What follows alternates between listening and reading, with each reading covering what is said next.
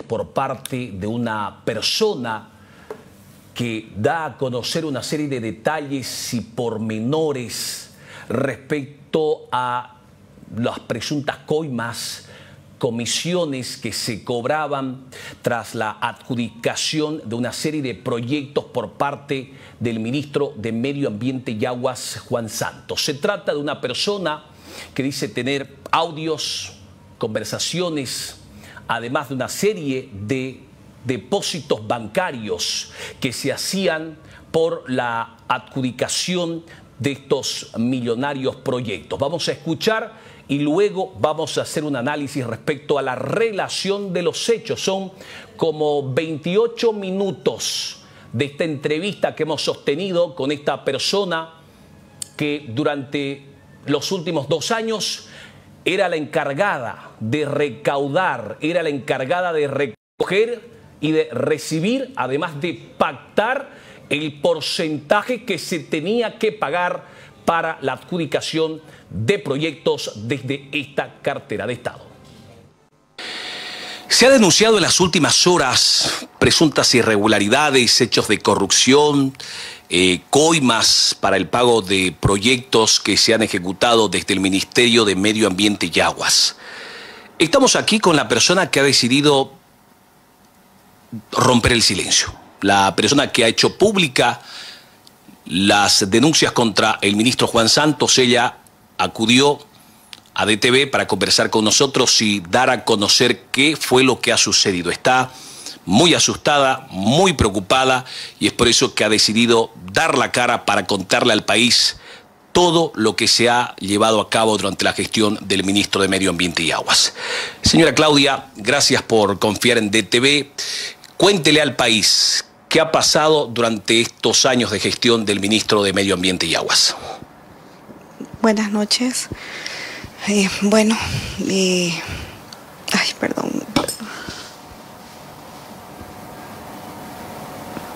¿Estás seguro?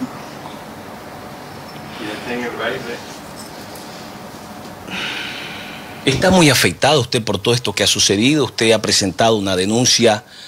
Eh, ¿Cómo ha afectado todo esto en su vida? Para mí ha sido algo muy, muy duro, muy complicado porque, bueno, he pasado tantas cosas, estos dos años, cambios, cambios sobre todo en mi vida, que me han afectado bastante, no solo a mi persona, sino a mi, a mi familia, a mis hijos en particular. Y bueno, a raíz de, todo lo que ha venido aconteciendo y que ya no, no, no, pude más con, continuar o callando o seguir siendo o callando toda la corrupción que, se ha venido que ha venido aconteciendo en el ministerio, ¿no? Con, con el ministro. ¿Tiene mucho miedo usted? Eh, ¿Por qué le cuesta tanto eh, darle a conocer al país todo lo que ha sucedido? ¿Qué pasa? ¿Juan Santos la ha amenazado? ¿Le tiene miedo? Eh, porque la veo muy afectada, muy preocupada, muy asustada. Directamente no, pero sí he tenido amenazas.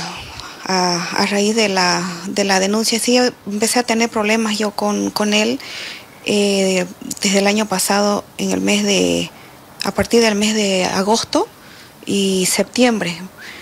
Empezaron a acontecer las diferencias entre, entre él y mi persona, a raíz de la ambición que ya él, empezó a, tener por el dinero, de querer más dinero y más dinero.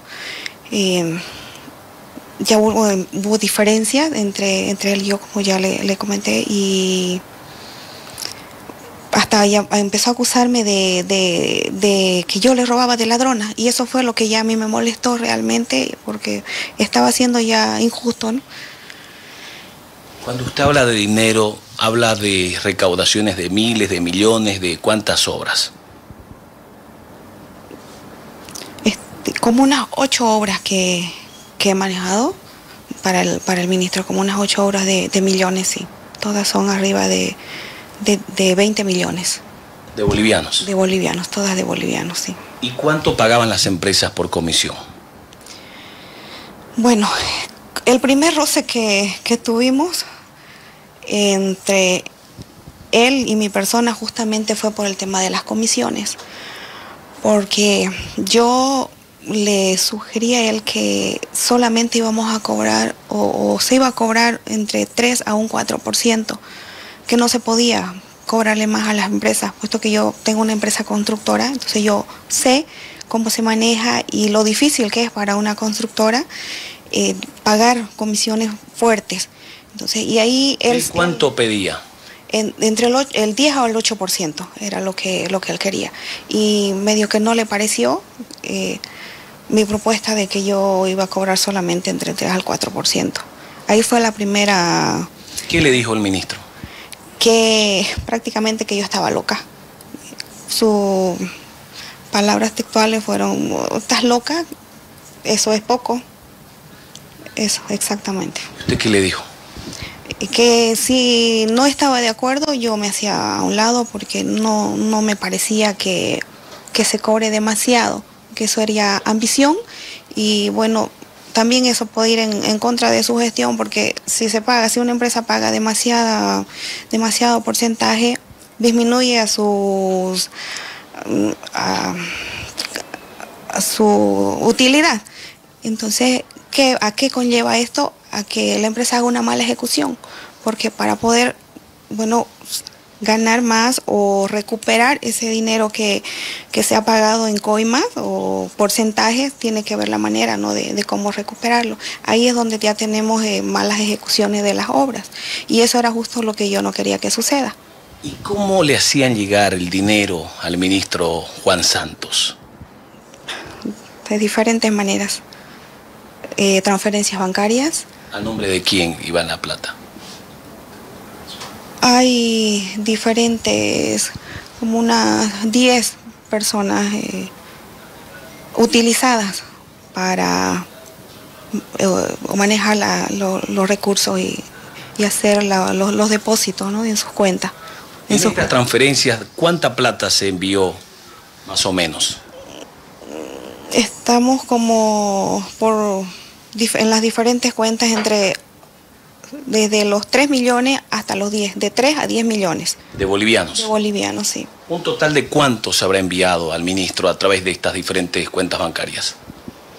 Exacto, exacto, no le podía dar el monto, pero estamos arriba de unos 20 millones. ¿De bolivianos? De bolivianos, sí. Ahora, eh, ¿qué tiene que ver en todo esto la señora eh, Viviana eh, Basualdo, apellida? Bautista. Bautista. La señora Viviana es, otra víctima del, ministro. Él la, utilizó. La señora Viviana es una, señora muy buena y, y, noble y confiaba, y confiada. Varias veces, después de que pensamos a tener los problemas, porque ella era bien allegada, es bien allegada al ministro, cuando empezamos a tener los problemas con el ministro, yo me acercaba a ella y le comentaba todo lo que, lo que estaba pasando. Ella incluso hizo algunas eh, intermediaciones, se puede decir, entre, o sea, fue eh, intercedió. entre él y yo porque eh, llegó el momento de que ya no, nos hablábamos. Entonces ella intercedió, varias veces, en dos o tres ocasiones fue a la ciudad de La Paz a hablar conmigo para que... ¿Qué le decía? Que lleguemos a, un acuerdo que tenemos que continuar trabajando por el bien del ministro, de, su gestión y que las cosas no terminen mal porque habíamos, habíamos, formado un, bonito equipo para, para él, ¿no? Porque la verdad es que se trabajaba bien, éramos bien unidas, ¿no? Pero no solamente era ella, yo están todas las personas que, están involucradas, está su cuñado, Fernando, incluso cuando él hacía sus carreras de automovilístico íbamos a, apoyarlo, todo el grupo de, su entorno cercano a él, ¿no? Y ahí lo, apoyábamos a él, ahí también yo ponía los oficios de, de él, me pedía de que yo me acerque a, las empresas para pedirles apoyo. para sus carreras. Y sí, se lo hacía también eso. Ahora usted está asustada, está preocupada, teme por su vida. ¿Cómo ha cambiado, digamos, su, su vida, señora Claudia, desde antes de que usted haga conocer esta denuncia ahora? Mucho, bastante y, por supuesto que estoy, estoy asustada, estoy temerosa porque he tenido ya amenaza y... ¿Quién la amenaza? Yo creo que el ministro, ¿no? Porque es con la única persona que estoy teniendo problemas, diferencias ahora. He tenido dos o tres ocasiones llamadas telefónicas amenazándome de muerte. ¿Qué le dicen? Que me cuide porque me, me van a matar. Dos, en tres ocasiones me llamaron por número restringido para amenazarme. Ahora, en las últimas horas usted me comentaba que una persona le ofreció eh, pagarle por su silencio y para que usted salga del país. Así es, efectivamente, una persona llegada a él que trabaja en su despacho y se puso en contacto conmigo el día lunes para ofrecerme ¿Qué le dijo? Que quería, que quería llegar a un acuerdo, el ministro quería llegar a un acuerdo conmigo para que ya pare todo esto y que me vaya del país, que me vaya del país para que ya no continúe todas las denuncias. ¿Cuánto le ofreció? Eh, 200 mil dólares. Y la, la, la, persona estuvo eh, el día de ayer por la noche Miércoles. Miércoles, sí, eh, acá en la ciudad vino. Santa Cruz. Santa Cruz, sí. A, buscarme. Bueno, vino con, el dinero, pero no con, la cantidad, sino 50 mil dólares. Por ¿Qué le dijo? Eh, me, se contactó y me dijo que ya venía, estaban asustados, más asustados por el tema de, de la señora Viviana, el ministro estaba ya más preocupado recién, ahora, ¿no? Y él, se preocupó y estaba asustado. E incluso me comentaron de que estaba viendo la manera de cómo sacarlo a su sobrino del... ¿Cómo se llama su sobrino? Johnny Santos. Es el que ha sido detenido recién en Tarija. Así es. Él, a él estaba viendo la manera de cómo, de cómo sacarlo del, del país. ¿Cuál era la función del sobrino del ministro en todo esto? Él es el que tiene la mayoría de, su, de sus bienes a, nombre de, él. Tiene el, la primer, el primer inmueble o el bien que compró fue un frigorífico que construyeron. ¿Dónde? En la ciudad de Cobija. Eso es conocimiento de todos los pandinos allá y, todos lo saben. ¿A nombre del sobrino del ministro? del ministro es un muchacho joven y bueno, yo en su momento yo, yo, yo entregué eh, toda esa documentación ¿no? de, lo, de, lo, de los inmuebles, porque yo los tuve en mis manos. ¿Cuántos inmuebles tiene el ministro Santos de lo que usted conoce? Y mire, a raíz de un... La señora Viviana me, me comentó en la ciudad de Cobija un día que ella estaba comprando dos inmuebles en la ciudad de Cobija. Y casualmente ella se topa en la, en la notaría cuando fueron a hacer la documentación, se topa con la cuñada del ex eh, gobernador de Pandos, Lucho Luis Adolfo Flores. La dueña de, los, de los dos inmuebles que estaba comprando la señora Viviana eran de la cuñada del, del senador, del, eh, del ex gobernador y actualmente senador. Entonces esa fue la sorpresa y esto fue lo que llevó a que el ministro ya se, o sea, fue una alerta, ¿no? Porque el, el senador la conoce la señora Viviana, por cuestiones políticas es allegada a él. Entonces ahí él, él le dijo que ella estaba haciendo mal, porque él la conoce y sabe que de dónde iba a tener casi 200 mil dólares para comprar dos inmuebles. Y ella eso me comentó y me dijo que, se, había asustado. Ahí yo recién me enteré de que efectivamente el ministro estaba comprando inmuebles. Y ya eso fue lo que... Lo ¿Cuándo fue eso, señora Claudia? Esto fue el, el año pasado, en el mes de junio. 2022, junio del 2022. Sí, sí, del 2000. ¿Y qué pasó de allí más? Ahí fue donde ella me, me comentó eso, ya yo hablé con, con, el ministro y ella me dijo, ya yo he hablado con Juan, porque ella le, le dice Juan, la cercanía, la amistad que tienen, yo he hablado con Juan, me dice, pero no me hace caso, no me quiere hacer caso. Él está, sigue comprando y ha comprado, tiene ya nombre de, de Johnny, ha comprado, tiene a nombre de. No todos están en derechos reales aún, solamente tenemos compraventas, minutas de, de, de compraventas. Eh, la mayoría está, está poniendo a nombre de, de su cuñado, eh, Fernando Toledo.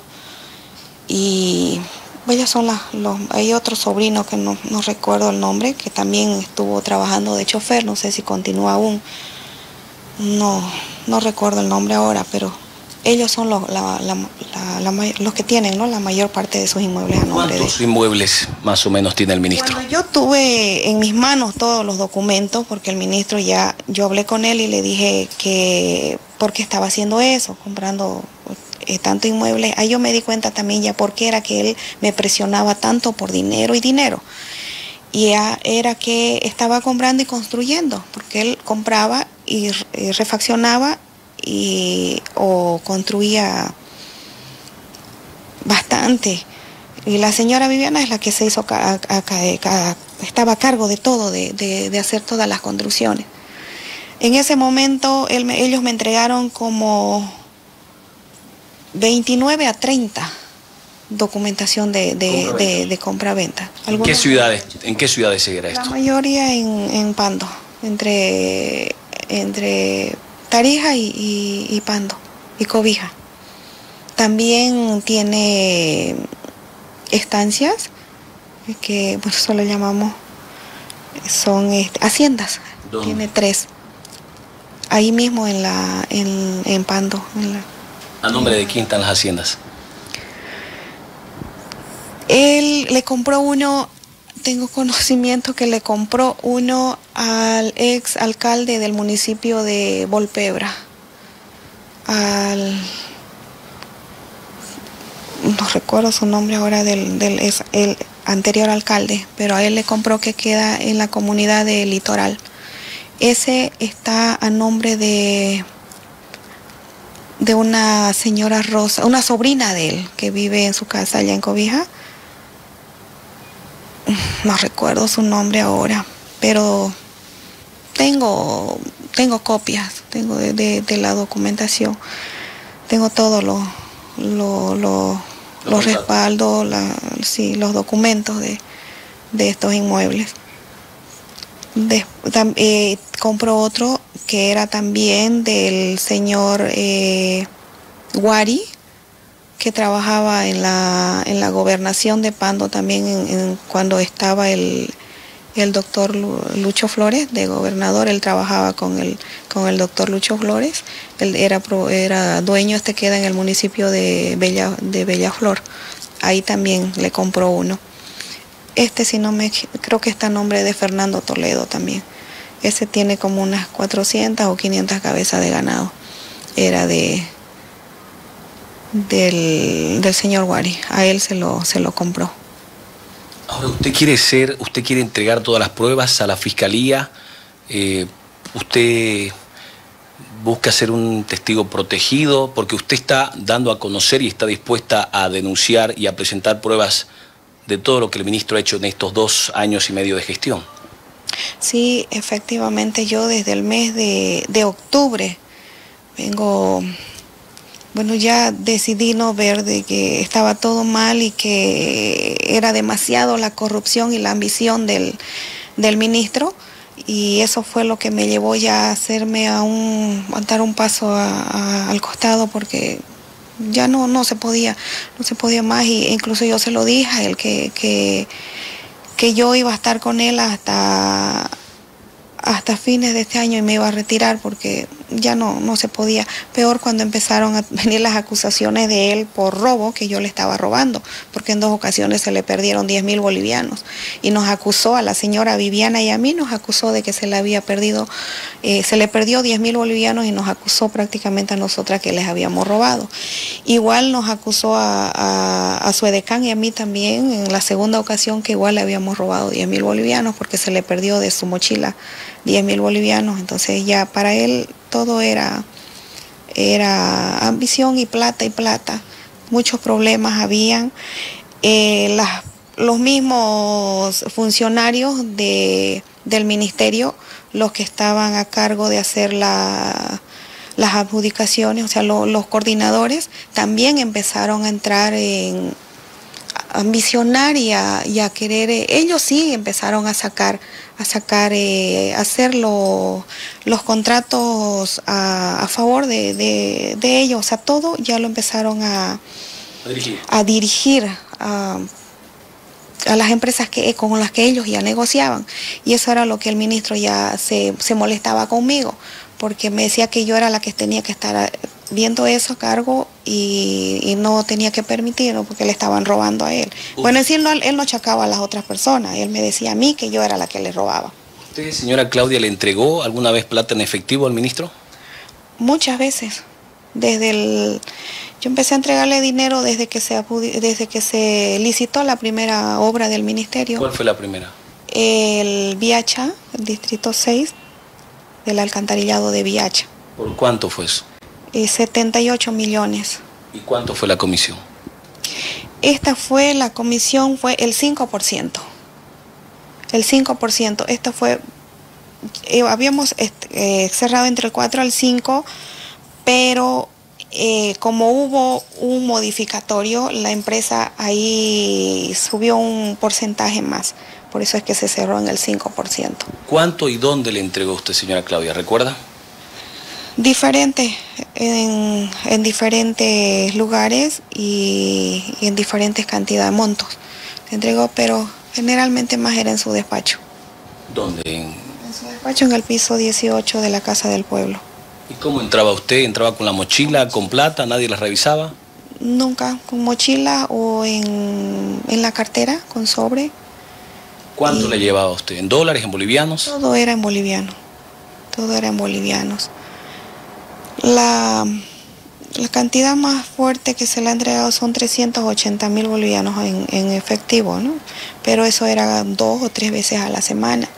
¿A la semana? Sí, dependiendo cuando ya eh, se cumplían las empresas ¿no? en, entregar el, aporte. Ahora, señora Claudia, ¿no teme usted que por haberse atrevido a denunciar estas irregularidades eh, de alguna manera terminen tratando de investigarla usted también?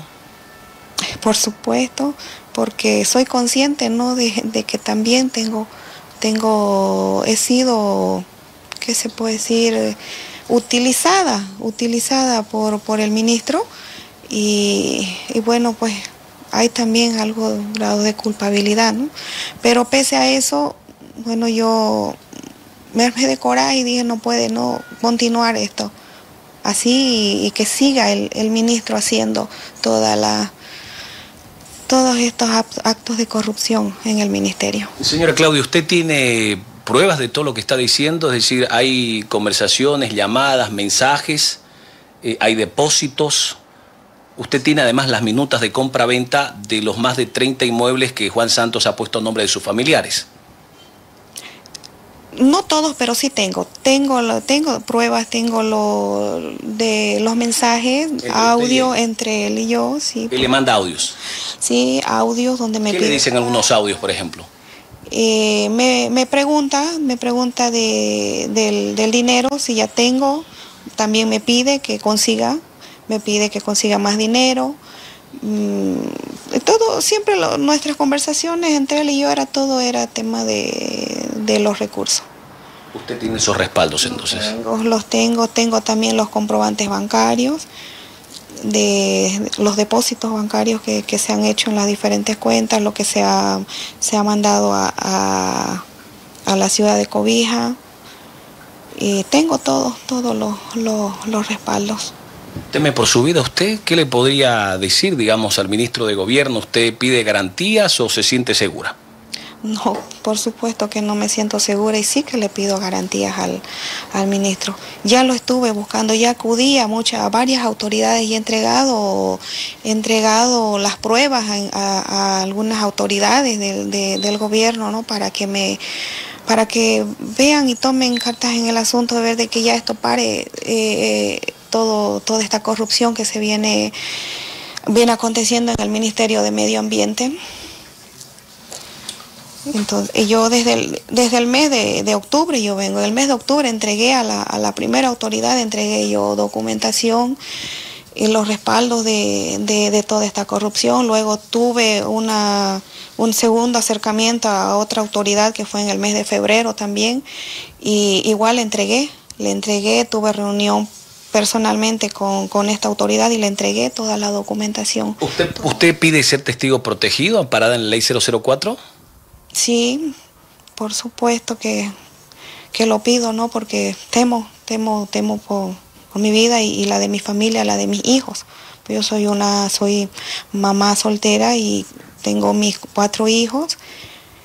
Y bueno, ahorita estamos pasando unos momentos muy difíciles, ¿no? Mis hijos están, están temerosos y esto les, está afectando a ellos psicológicamente porque no me ven ¿no? también en las condiciones que yo estoy. No, no puedo ni salir, no salgo, eh, no, no, no, puedo trabajar. Entonces, eh, es son momentos difíciles que estamos pasando. y, y, perdón, todo por, por sacar a la luz, se puede decir, toda esta corrupción que está pasando ¿no? con, con, el, con el ministro. Y, y más me, me, desespera ver que, que no sucede nada, él continúa porque incluso han querido seguir con, con la corrupción, con esto de querer sobornarme de, o, o amedrentarme, ofreciéndome dinero para que yo me calle, para que yo me vaya del país. Entonces es que qué más pruebas quieren o, qué más tengo que, demostrar, ¿no? Para que, bueno, ya esto pare y de una vez el, presidente o tome, ¿no? cartas en el asunto de que esto ya... Señora Claudia, ¿qué le diría usted al presidente si la está viendo en este momento, allí mirándole a la cámara? Que es el presidente y es su ministro tiene, ¿qué más prueba quiere de la corrupción que está haciendo su ministro? ¿Qué más quiere que, se le demuestre? ¿De qué manera más quiere saber la corrupción que hay? Si él, si él quiere, yo estoy dispuesta a ir personalmente y entregarle todo, todo lo que, lo que tengo y lo que, o sea, lo que, lo que hay, lo que, la verdad, lo que es lo que hay eh, de, de, la corrupción de lo que ha hecho su ministro Juan Santos. ¿Este no es un tema político? De ningún... Como dice el señor Santos, ¿no? De ninguna manera. Yo no soy política. Yo toda mi vida trabajé en empresa constructora. De esa manera fue que yo lo conocí al, ministro Juan. Yo le facilité mi, empresa en, un momento para que él trabaje. Así fue que nos conocimos. Y luego lo, apoyé. Y a raíz de eso fue que él me, trajo con él a trabajar y que me haga cargo de, de, de este trabajo, ¿no? Pues si se puede llamar trabajo, la verdad es que no me siento muy orgullosa, sino más bien arrepentida ¿no? de, haber actuado de esta manera por él, porque me siento utilizada, la verdad, me ha utilizado el, ministro. Muchas gracias. Ven ustedes, era un diálogo con la señora Claudia, eh, una persona que ha decidido dar la cara, ha decidido romper el silencio y hablar respecto a estas eh, formas en las cuales se llevó adelante eh, el cobro de comisiones, el cobro de coimas eh, para la adjudicación y ejecución de proyectos desde el Ministerio de Medio Ambiente y Aguas a la cabeza del señor Juan Santos. Bueno, vamos a hacer, vamos a hacer una pausa, sí, y cuando regresemos vamos a seguir hablando de la situación de la investigación que se está llevando a cabo porque Viviana Bautista, la más estrecha colaborador del ministro Juan Santos en Cobija, llegó a La Paz en calidad de aprendida, se obtuvo a su derecho a declarar y se prepara ya la imputación en su contra para ser sometida a una audiencia de medidas cautelares. Cuando regresemos hablamos del tema. No se vaya.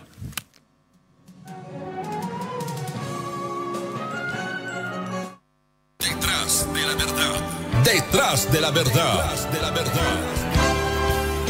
Este su gobierno nacional está consolidando las bases para una Bolivia industrializada. Hemos retomado el camino de la estabilidad y la esperanza. Retomamos el control de nuestro destino y avanzamos en la reconstrucción de nuestra patria. Dimos el paso hacia la industrialización de la química básica, que es la industria de las industrias tomamos la decisión de aplicar nuestra estrategia digna, soberana y eficiente para avanzar en la industrialización del litio. Avanzamos también en la construcción de dos plantas de biodiesel y el diseño de una planta HBO para la producción de diésel ecológico. Concretamos el financiamiento para la planta refinadora de zinc de Oruro, la conclusión del estudio para la nueva planta de zinc de Potosí, y este año culminaremos nuestra planta siderúrgica del Mutún.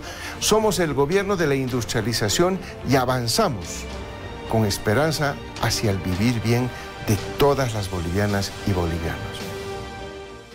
El gobernador Camacho pidió a la gobernación que se haga una gran encuesta con valor científico para saber cuántos somos los habitantes de Santa Cruz, cuáles son nuestras principales necesidades y cuáles son nuestras mejores oportunidades de futuro. El resultado dice que en Santa Cruz ya somos más de 4 millones, lo que nos confirma como el departamento más poblado de Bolivia. También dice que somos el departamento que más crecemos y dice que nuestras necesidades son empleo, educación, salud y carreteras. Esta encuesta no reemplaza el censo, pero nos da información científica para trabajar y construir entre todos una sociedad moderna, democrática y próspera. ¿Te acuerdas cómo era? Jugábamos, corríamos. Jesús, Anita, ahora podemos hablar siempre. Ahora con el internet satelital, todas nuestras palabras y sueños pueden llegar a donde quiera. Nada de ruido. Con el internet comunitario habla sin fronteras. Esta empresa está regulada y fiscalizada por la ATT. Estamos hablando de tres laboratorios de cristalización de cocaína. Estamos hablando de droga de altísima pureza.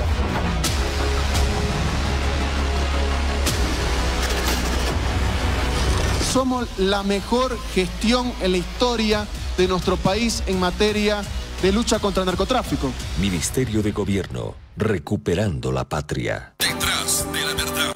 Detrás de la verdad. Detrás de la verdad.